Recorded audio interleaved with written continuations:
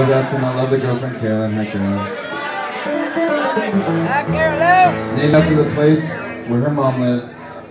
It's called Sunny Brae.